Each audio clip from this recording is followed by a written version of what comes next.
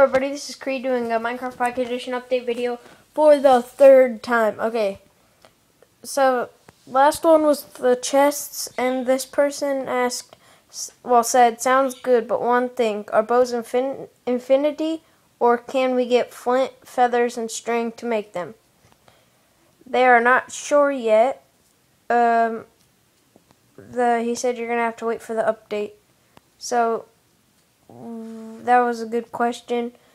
Are bows infinity, or can we get flint, feathers, and string?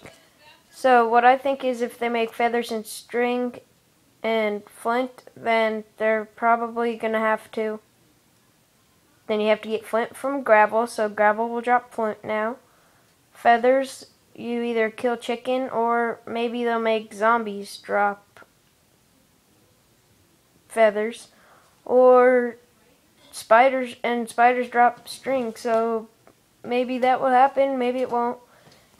Who knows? Well, uh, just trying to inform you on the update. So, on the next update. So, thank you. Good. Thank you all for watching. Goodbye.